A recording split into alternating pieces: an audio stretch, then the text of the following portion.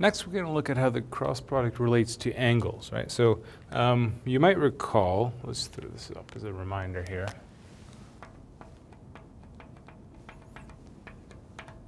That the dot product satisfies the following formula, right?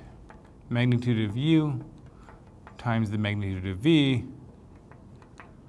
times cosine of the angle between them. Right? Um, and so here we have something very similar, except it's sine theta instead of cos theta. Um, and of course, um, that's not necessarily going to give us the, the cross product as a whole. It can only give us the magnitude because the cross product is a vector, whereas this is certainly a scalar quantity over here. Um, one thing you might be worried about is that magnitude needs to be positive and we have a sine function. But remember that theta Theta is between 0 and pi. Sine is positive on that interval. Right? Um, so we don't have to worry about um, the magnitude becoming negative here. That sine theta will always be positive or, or possibly 0. And we also see that if, you know, where is it 0? At 0 and at pi. Um, there we see again that, that parallel property, right? If the vectors are parallel, so if they point in either the same directions, so theta is zero, or opposite directions, so theta is pi, um, the cross product is going to be zero. All right. Um, we're not going to go through the details of the proof on this one because, uh, well, it's not necessarily a subtle proof. It's just long. It's messy. It's kind of like the algebra is kind of complicated, and and I don't think is really instructional for us to necessarily um, sit through it here in the video.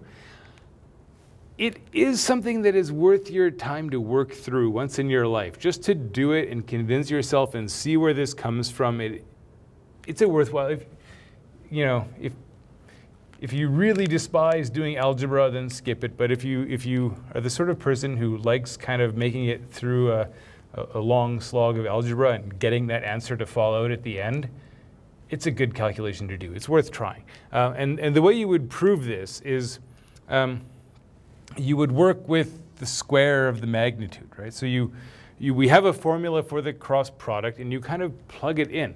And, and so you, you do the square of the magnitudes, so you gotta do the sum of the squares of the, of the components of the cross product, right? And now each of those is a binomial with two terms. So when you square it, it's going to get bigger, right? Four terms per component, so there's like 12 terms there. You got to multiply it all out. You got to simplify. Um, and, and then on the other side, you're going to do the magnitude of u squared times the magnitude of v squared. Uh, there's, you know, there's a fair amount of work to do to play around and get things to, to simplify. But actually, one of the things that is going to pop out when you do it, um, you're going to see this this show up. You're going to see it show up. Um, and, and, and ultimately what's going to happen is you're going to, if you, when you do the square of the magnitude of, of u cross v, you're going to get the magnitude of u squared is going to show up, magnitude of v squared is going to show up, and the dot product is going to show up as well. Um, and, and more or less what's going to happen if you go through the whole process and you simplify is, is you're going to apply this formula for the dot product, um, factor out all the magnitudes, and you're going to see that you're left with like a, a 1 minus cos squared right? Um, you're going to get the dot product squared is going to be in there. Uh, and so you have a 1 minus cos squared, which of course is sine squared, and you take the square root of everything, and there you go. You've got your theorem. Uh, one of the, I think, reasons that this is a, worth mentioning is that this is often a way that you can teach the cross product to, let's say, a maybe like a high school physics student who hasn't really learned the algebra yet necessary to like calculate through the components. Um, and, and so one of the things that you do is you would teach the cross product like this. You'd say, okay, I have two vectors, u and v. Um, and you would say, well, the cross product is defined by two things. One, the magnitude, Two, the direction. So how do we get the direction of the cross product from the two vectors? This is where one of those like right-hand rules comes in. And, and again, I'm mirrored. So I think uh, this is my right hand, but it probably looks like left to you. Um, but you kind of do the, you kind of, you point your hand in the direction of the first vector and you curl your fingers towards the second and then your thumb points in the direction of the cross product. And that kind of tells you should it be pointing up or, or down, right? We know it's got to be orthogonal to both of them. And the right-hand rule kind of gives you the, well, is it orthogonal and up or orthogonal and down, right? And so you get that sort of picture there, right? Um, and so this is, if you want, this is another way of defining the cross product, right? Because to define a vector, you should give a magnitude and a direction. And so this formula gives the magnitude, this right-hand rule gives the direction, and, there you have it. Okay, now, um, let's work through an example to see, see that this actually does work. Here is a calculation that we already did in a previous example. We calculated this cross product. Um, so let's look at the magnitudes of each of these vectors. The magnitude of u, we get the square root of 1 squared plus 3 squared plus 6 squared. So that's the square root of 46. The magnitude of v is going to be the square root of 1 squared, right? Because minus sign goes away plus 2 squared plus 1 squared.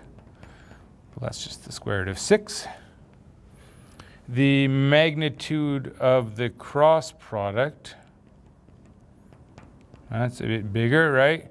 Um, we've got uh, 9 squared, 7 squared, 5 squared. So 9 squared is 81 plus 49 so 81 plus 49 is 90 plus 40, 130 plus 25.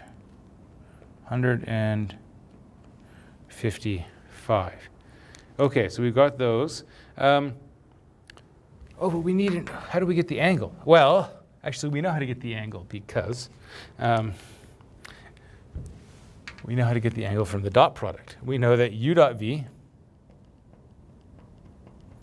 u dot v is going to be um, minus 1. 3 times 2 is 6 plus 6. 6 times 6, 6 times 1 is 6, so that's 11. All right? Okay, uh, uh, so we know that uh, cos theta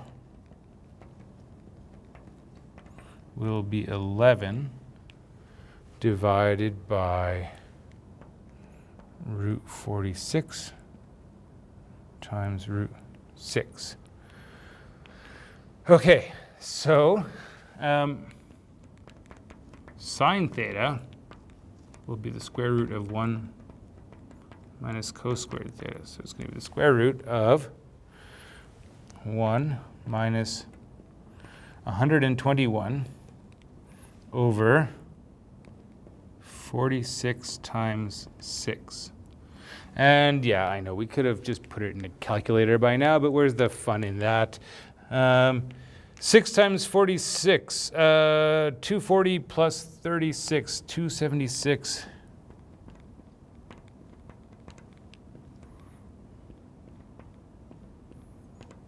Uh, under the square root.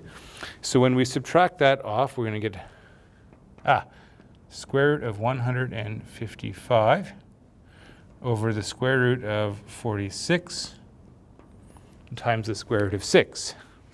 Okay? So there's sine theta. Now if I multiply by magnitude of u and magnitude of v, well, those are going to cancel. Those are going to cancel. I'm going to be left with the square root of 155, which is exactly what I'm supposed to get.